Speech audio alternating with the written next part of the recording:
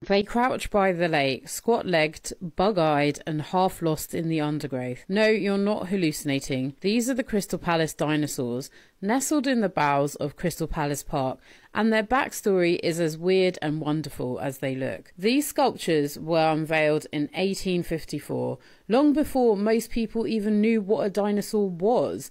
The word itself had only been coined a decade earlier, and Darwin's Origin of Species hadn't even been published yet. That came five years later. At a time when science was just beginning to challenge creationist thinking, the Crystal Palace dinosaurs were cutting edge stuff. Full scale reconstructions based on fossil evidence designed to educate the public and showcase Victorian discovery at its boldest.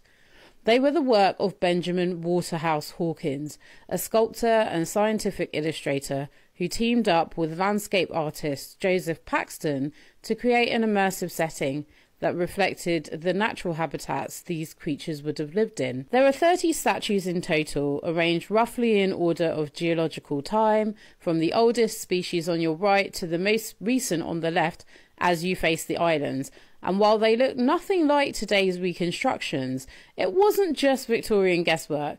They were using the best scientific knowledge available at the time and interpreting it through a completely different lens. Only four of the sculptures are technically dinosaurs, though the Megalosaurus, the Hylaeosaurus, and the two Iguanodons. The rest include ancient amphibians, flying reptiles, and even a giant sloth if you're paying close attention. They might not be scientifically accurate by today's standards, but they're still a remarkable snapshot of a moment when the world was just beginning to understand deep time, extinction, and the strange beasts that came before us. In short, they're absolutely worth the trip because nothing says Victorian ambition quite like building your own Jurassic Park in South London.